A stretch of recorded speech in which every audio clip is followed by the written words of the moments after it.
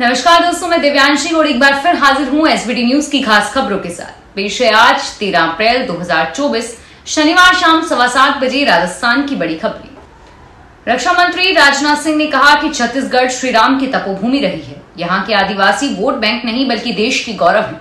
Congress Bigg Boss का show बन गई है और इसके नेता एक दूसरे का कपड़े फाड़ रहे हैं। आने वाले समय में भारत की राजनीति से इनका सफाया हो जाएगा। दस साल बाद बच्चे पूछेंगे कि क्या है कांग्रेस। राजनाथ सिंह ने आगे कहा कि कांग्रेस ने पाँच साल तक छत्तीसगढ़ में सिर्फ़ भ्रष्टाचार किया है। यहाँ लोगों का कोई भाग्य बदल सकता है तो वो है सिर्फ़ भाजपा। राजनाथ सिंह ने ये बातें दंतेवाड़ा के गीदम में सभा के दौरान कही। ये इलाका बस्तर टाइगर कहे जाने वाले कांग्रेस के दिवंगत नेता महेंद्र कर्मा का गढ़ रहा है। भारत सरकार की ओर से इस साल मिले हीट वेव के अलर्ट के बाद राजस्थान चिकित्सा विभाग को एससीएस शुभराज सिंह ने बैठक लेकर सभी आवश्यक तैयारियाँ रखने के निर्देश जारी किए हैं। चिकित्सा एसीएस शुभराज सिंह ने कहा कि जलवायु परिवर्तन के कारण इस साल अत्यधिक गर्मी रहने के आसार हैं और इसको लेकर भारत सरकार से भी अलर्ट मिला है। भारत सरकार के अलर्ट को देखते हुए हमने पहले से तैयारियाँ शुरू कर दी है। राजस्थान को गर्मी एवं लू से सर्वाधिक प्रभावित प्रदेशों की श्रेणी में माना गया है। प्रदेश में अप्रैल से जून माह के बीच गर्मी एवं हीट वेव का अत्यधिक प्रकोप रहने की संभावना है।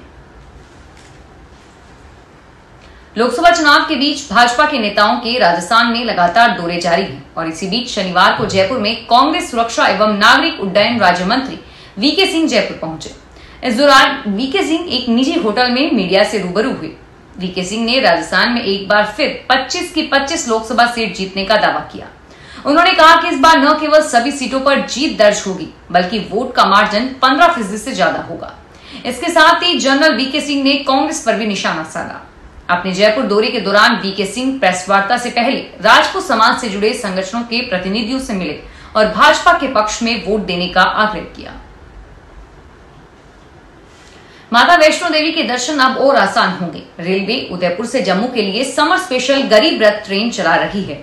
उत्तर पश्चिमी रेलवे अजमेर मंडल के जनसंपर्क अधिकारी अशोक चौहान ने बताया कि गरीब रथ ट्रेन संख्या ज़ीरो चार छह पाँच छह जम्मू कैंट से 25 अप्रैल को पाँच बजकर बीस मिनट पर रवाना होगी और अगले दिन शुक्रवार सुबह सात बजकर पंद्रह मिनट पर उदयपुर आएगी। राजस्थान के धार्मिक पर्यटकों को माता वैष्णो देवी के दर्शन सुलभ कराने के लिए रेल विभाग ने 25 अप्रैल से गरीब रथ समर स्पेशल ट्रेन चलाने का निर्णय किया है, जिसमें सभी कोच थर्ड एसी श्रेणी के होंगे। ट्रेन जम्मू से उदयपुर और उदयपुर से जम्मू के बीच चलेगी। जयपुर में लोकसभा चुनाव प्रचार को और धार देने के लिए शुक्रवार को कैंपेन कमेटी की पहली बैठक कमेटी अध्यक्ष अशोक गहलोत की अध्यक्षता में प्रदेश कांग्रेस के वॉर रूम में हुई। इसमें पीसीसी चीफ गोविंद सिंह डोटासरा, प्रदेश प्रभारी सुखजिंदर सिंह रंधावा, पूर्व मंत्री शकुंतला रावत, ममता भूपेश, विधायक अर्जुन बामनिया सहित कई सदस्य शामिल हुए। कैंपेन कमेटी में बत्तीस सदस्य हैं, लेकिन पहली बैठक में करीब बारह सदस्य ही शामिल हो सके। और वहीं कुछ को वर्चुअल बैठक से जुड़ा गया है। सूत्र के मुताबिक बैठक में पहले चरण के चुनाव को और तेज करने के लिए ज़रूरत के हिसाब से लोकसभा सीटों पर केंद्रीय नेताओं की चुनावी सभा व रोड शो कराने और बूथ स्तर तक कांग्रेस की गारंटी योजनाओं की जानकारी देने को लेकर रणनीति बनाई गई।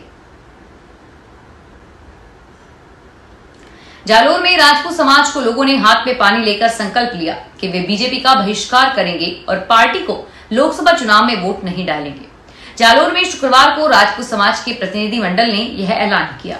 गुजरात के राजकोट में एक सभा के दौरान भाजपा सांसद व केंद्रीय मंत्री पुरुषोत्तम रूपाला ने राजपूत समाज महिलाओं पर कथित तौर पर अभद्र टिप्पणी की थी और इसके साथ ही करणी सेना के अध्यक्ष महिपाल सिंह मकराना की गुजरात में गिरफ्तारी से राजपूत समाज में आक्रोश है। करनी सेना जिला अध्यक्ष व मारवाड़ राजपूत सभा जिला प्रतिनिधि चंदन सिंह ने बताया कि गुजरात के राजकोट में एक सभा के दौरान भाजपा सांसद और केंद्रीय मंत्री पुरुषोत्तम रूपाला ने राजपूत समाज की बहु बेटियों पर अभद्र टिप्पणी की। इससे नाराज़ समाज की महिलाओं ने रूपाला की टिकट काटने की मांग की है। राजसमंद में जिला जेल में क्षमता से अधिक ज़्यादा कैदी मिले हैं। इस कारण पैंसठ कैदियों को दूसरे जेलों में शिफ्ट किया गया। इसके बाद अब जिला कारागृह में नवासी कैदी बचे हैं। अपर जिला एवं सेशन न्यायाधीश मनीष कुमार वैष्णव ने जब जिला कारागृह का औचक निरीक्षण किया तो यह खुलासा हुआ। दरअसल, अपर जिला एवं सेशन न्यायाधीश मनीष कुमार वैष्णव ने जिला जेल का औचक निरीक्षण किया और इस दौरान जेल में क्षमता से अधिक कैदी मिलने पर पैंसठ कैदियों को दूसरे ज़िले की जेलों में शिफ्ट किया। न्यायाधीश वैष्णव ने बताया कि जिला विधिक सेवा प्राधिकरण अध्यक्ष राघवेंद्र काशवाल के निर्देश पर जिला कार्यक्रय का औचक निरीक्षण करके जेल में भोजन, सफ़ाई, आवास व्यवस्थाओं का जायजा लिया गया। निरीक्षण के दौरान कारागृह में क्षमता से अधिक कैदी मिलने पर उन्हें शिफ्ट किया गया। राजस्थान में आज आंधड़ के साथ बारिश और ओले गिरने की संभावना है। मौसम केंद्र जयपुर ने राजस्थान के 30 जिलों के लिए अलर्ट जारी किया है। इन जिलों में दोपहर बाद 30 से 60 किलोमीटर की रफ्तार से आंधी चल सकती है। और वहीं आज दिन में बीकानेर में बारिश हुई। सुबह से गंगानगर, बीकानेर, हनुमानगढ़, चूरू, झुंझुनू, जैसलमेर, जोधपुर और नागौर में बादल छाए हुए हैं। बीकानेर, जैसलमेर के एरिया में सुबह 25 किलोमीटर की रफ्तार से तेज हवा चली और इधर जयपुर, सीकर, अजमेर और पाली के एरिया में भी हल्के बादल छाए हुए हैं। जयपुर में आज दोपहर के बाद आंधी चलने और बादल छाने के साथ साथ बारिश की भी संभावना है। और इससे पहले कल भी जयपुर में देर शाम बादल चले, जिससे ठंडी हवाएँ रही। जयपुर का न्यूनतम तापमान 23 डिग्री सेल्सियस दर्ज हुआ, जो कल के मुकाबले कम रहा। और आज जयपुर में दिन के तापमान में भी गिरावट होने की संभावना है। दौसा के लवान नगर पालिका मुख्यालय पर नलों में एक माह से पीने का पानी नहीं आने और जलदाय विभाग व नगर पालिका अध्यक्ष को कई बार अवगत करवाने के बाद भी पेयजल की कोई व्यवस्था नहीं करने पर महिलाओं का गुस्सा फूट पड़ा। उन्होंने जलदाय विभाग की टंकी पर चढ़कर नारेबाजी की और प्रदर्शन किया। सूचना मिलने पर जलदाय विभाग के कर्मचारियों को महिलाओं ने खरी खोटी सुनाई।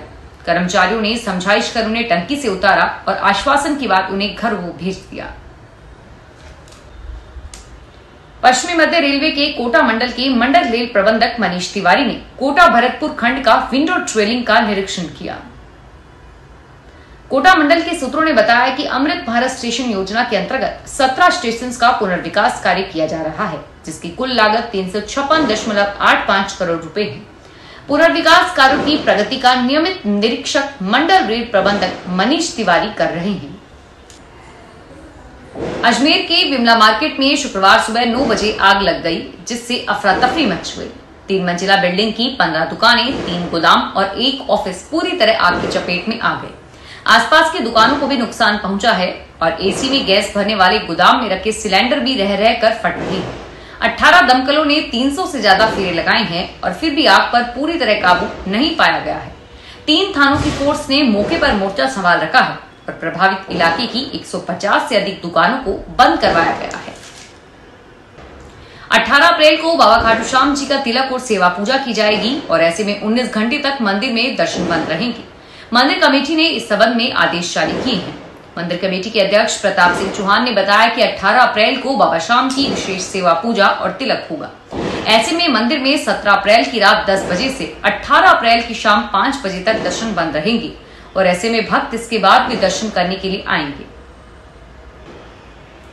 राजस्थान के अजमेर से चंडीगढ़ के बीच चलने वाली वंदे भारत एक्सप्रेस ट्रेन का लुक बदल गया है और अब यह ट्रेन भगवा रंग में तब्दील हो गई है। अजमेर, दिल्ली, कैंट, चंडीगढ़ वंदे भारत के लिए रंग केसरिया रंग के होंगे।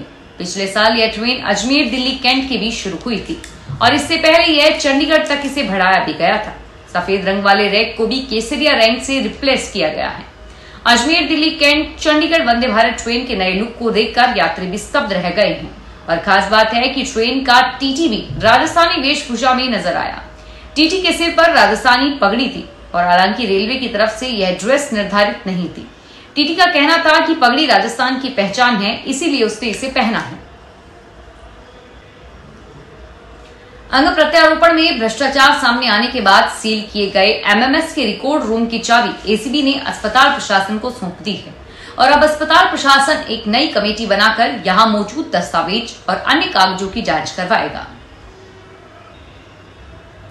वाणिज्य और उद्योग मंत्रालय ने 10 अप्रैल को सभी ई कॉमर्स वेबसाइट को बोनविटा सहित ऐसे सभी पेय पदार्थों को हेल्थ ड्रिंक की कैटेगरी से हटाने के लिए एडवाइजरी जारी की है। यह एडवाइजरी राष्ट्रीय बाल अधिकार संरक्षण आयोग की जाँच के बाद आई है कि भारतीय खाद्य संरक्षा एवं मानक प्राधिकरण के ज़रिए प्रस्तुत एफएसएस अधिनियम 2006 रूल्स और रेगुलेशन के तहत हेल्थ ड्रिंक की कोई भी ऑफिशियल डेफिनेशन नहीं है। फ़िलहाल इस बुलेटिन में इतना ही और फिर हाजिर होंगे तमाम बड़ी खबरों के साथ। कमेंट बॉक्स में हमें बताइए कि आप किस तरह की खबरें पढ़ना पसंद करते हैं। आपके फीडबैक के बाद ही हम खबरों का चयन करेंगे। आप अपनी राय कमेंट बॉक्स में ज़रूर बताइए। धन्यवाद।